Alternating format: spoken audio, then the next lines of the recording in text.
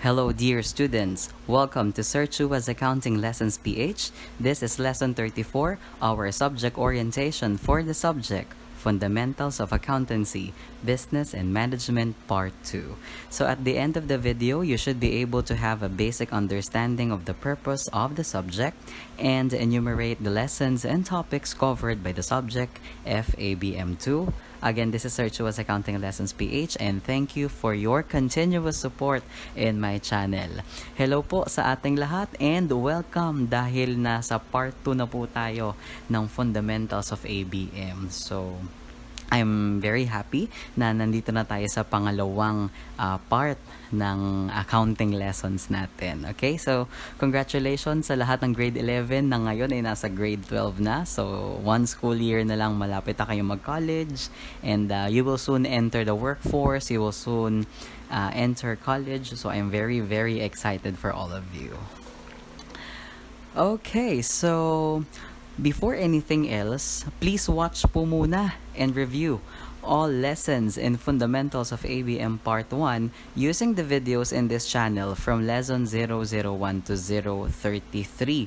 So kung gusto nyo po ng refreshment, if you want refreshment in all of your FABM 1 lessons, all of those videos are available in this channel. So if, if, if it's your first time in uh, this channel and uh, you are a student na naghahanap ng review ng FABM 1, eh, hindi ka naman nagkamali ng pinuntahang channel channel. So you can review the lessons for fundamentals of ABM 1 in this channel. Punta ka lang po sa previous videos in this channel.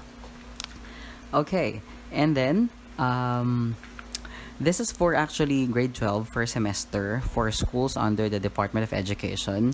However, I think there are some schools na hindi na hindi ko alam eh kung ano yung curriculum timing nila for this subject, but most of the schools offer this subject in grade 12 first semester.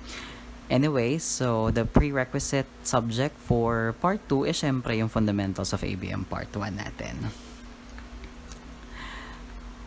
Okay, so before we start, can you please represent your school and comment down the name of your school below? Gusto ko malaman kung ano yung mga schools at saka yung location na rin siguro ng schools nyo kung sino yung nanonood ng uh, mga video na ito. Okay, actually this uh, lesson tutorials are being created on the onset of the COVID-19 pandemic. So lahat tayo ngayon halos uh, naka-online learning, naka-blended learning. So I hope that you will find my videos very, very helpful as we face this uh, pandemic. Okay? Uh, sana nakakatulong po ito. And uh, uh, may mga teachers din po na nagme-message sa akin na nagko-comment na nakakatulong daw po itong videos ko for their classes. So I hope that I can continue uh, helping you with the release of this uh, of these videos, of these video lessons lalo na ngayon na naka-online learning tayong lahat. So uh, whether you are a teacher or a student, please represent your school. Paki-comment down naman po la, uh, yung mga schools and yung location ng schools natin. Kasi minsan nagugulat ako, may mga tiga mga tiga provinces. So akala ko yung reach nung aking videos NCR but uh, nagugulat ako yung iba is coming from provinces and uh, other cities. So maraming salamat po sa inyong support for this channel. Okay, so the lesson distribution for fundamentals of ABM part 2 is uh, constructive accounting and industry-based learning. Okay, so uh, in constructive accounting,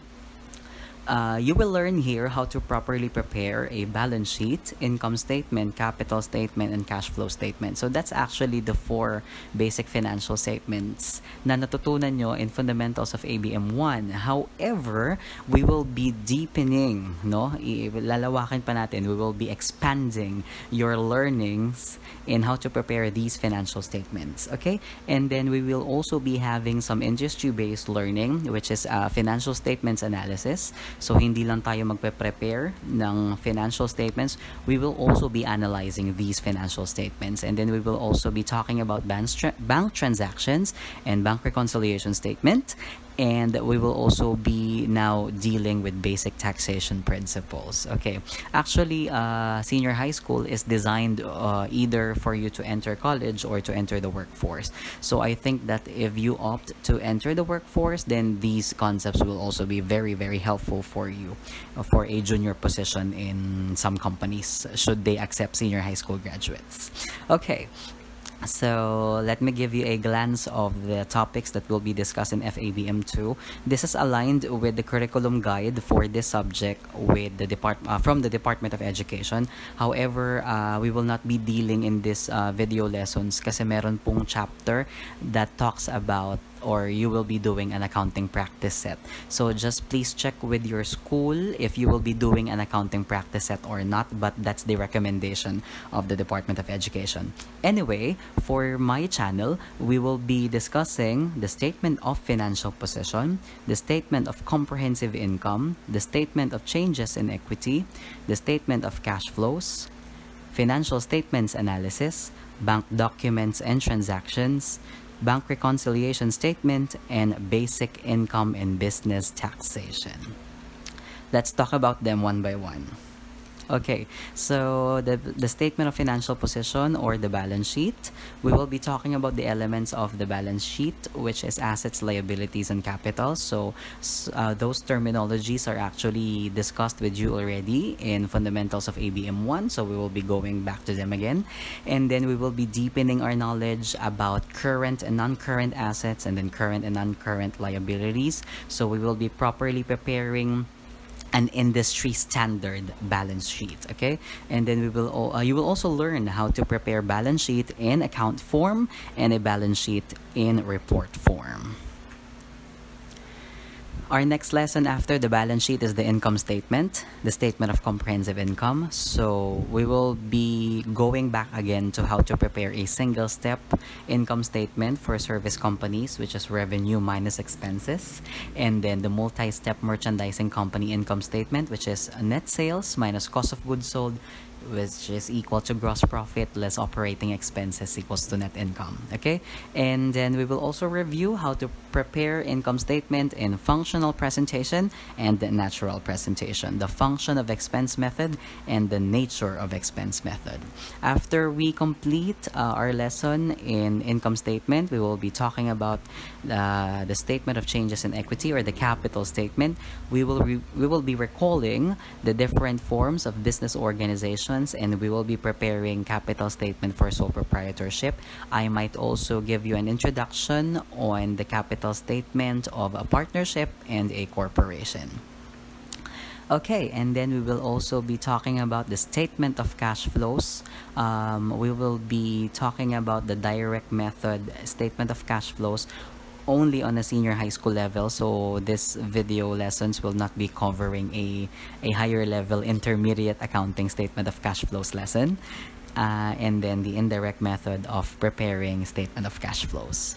After you learn the preparation of financial statements, we will be ready to analyze them. So we have different techniques in analyzing financial statements, and uh, in this uh, in FABM2, we are we will be talking about the horizontal analysis, the vertical analysis, and ratio analysis and interpretation of the ratios. So financial uh, financial statements analysis is a technique for managers to understand how the company performs or are they liquid are they solvent are they profitable or not okay so you we will be learning those things in this lesson